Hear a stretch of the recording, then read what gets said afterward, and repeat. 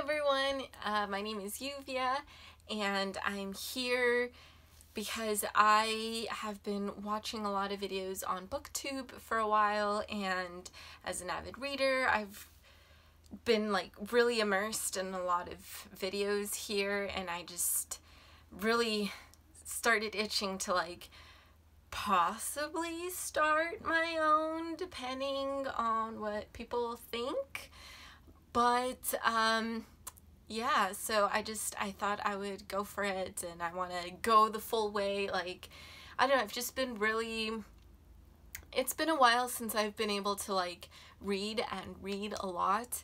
And so now that I'm like reading a lot again uh, I want to start booktube I want to get a I want to start a bookstagram like I just want to go full force. So yeah um, I'm originally from Texas and I moved to New York City rather recently, uh, which is why I only have these books on my bookshelf so far. My bookshelf back home in Texas, I, it's just filled with books and I have multiple bookshelves and, you know, so yeah, I would I thought I would start my first video with the top five books I read in 2018 so far.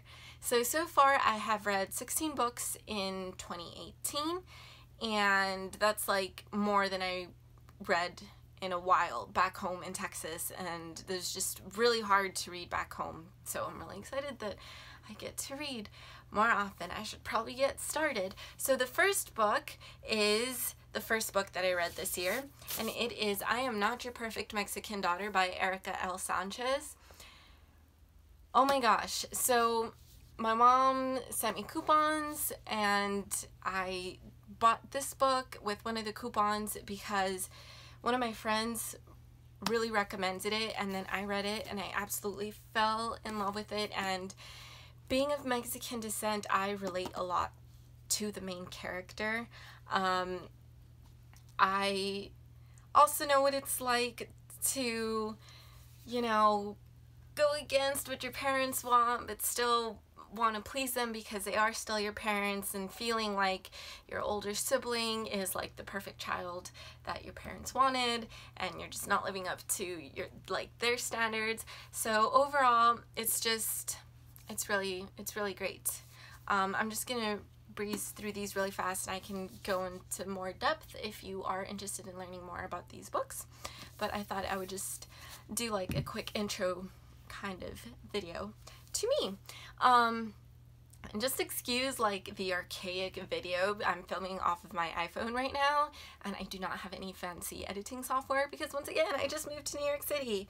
Um, but anyway, let's keep going. The second book is the second book that I read this year, and it is The Disaster Artist, My Life Inside the Room, the greatest bad movie ever made by Greg Sestero and Tom Bissell. If you have seen The Room, you need to read this book because it gives so much insight into what it was like making that film, and it's absolutely hysterical, and you just learn, it's just it's just an adventure, but it's a really fun adventure. And you get thrown into this world and being a an actress myself, like I just I feel for what Greg went through, but it all worked out for him in the end. The next book I don't actually have with me because it was a library book, but it is Black Dahlia Red Rose by P. Piu Eatwell, something like that. But it's um biography on the Black Dahlia, uh, the Black Dahlia murder and everything, and it, I had heard about it, but I knew absolutely nothing about it before reading that book and it was a very the way she wrote it it was very narrative. It felt like you were reading a fiction book but obviously it's a nonfiction book so it was very engaging. It wasn't just like fact after fact after fact and you know you get bored. Um, but it was really interesting and I highly recommend it, even even if you're not that interested in the Black Dahlia murder, because, you know, why not? The next one is actually a play. This is People and Places and Things by Duncan Macmillan. And my roommate gave this to me for Christmas.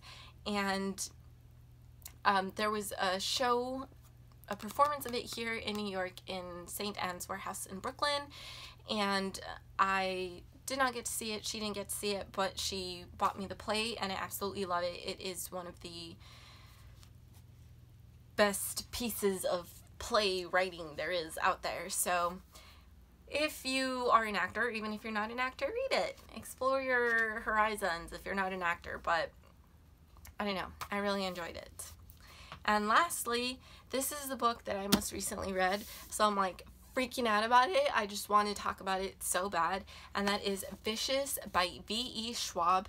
So it says on here that V.E. Schwab is a best-selling author, but it doesn't say that this book itself was a best-selling New York Times best-selling book, which I'm just like, if this book went like, this book was published back in like 2013, yeah, 2013, and this book, oh my gosh, it is so good and it blows my mind that this is not a best-selling book because it absolutely deserves to be and once again if you want me to make a video going into more depth about all these books just let me know but I, I don't even, I just, I finished reading this book and I was like,